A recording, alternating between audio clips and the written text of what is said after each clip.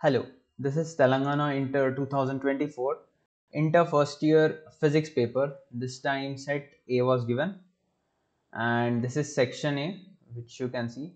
It has 10 VSAQs out of which you had to answer all of them. So each question carries 2 marks. Question 1, question 2, question 3, question 4, question 5, question 6, question 7, question 8, question 9 and question 10 is here okay this is question number. 10 these are the 10 questions 10 VSAQs now this is section B in which 8 questions are given. You have to answer any 6 6 for the 24 marks.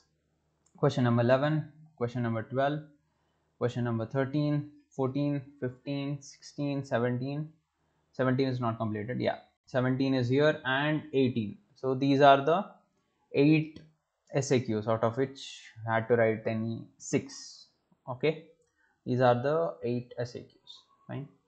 Now next this is section C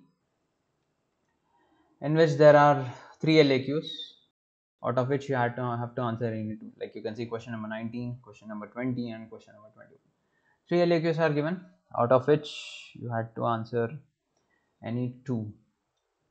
That's it. Thank you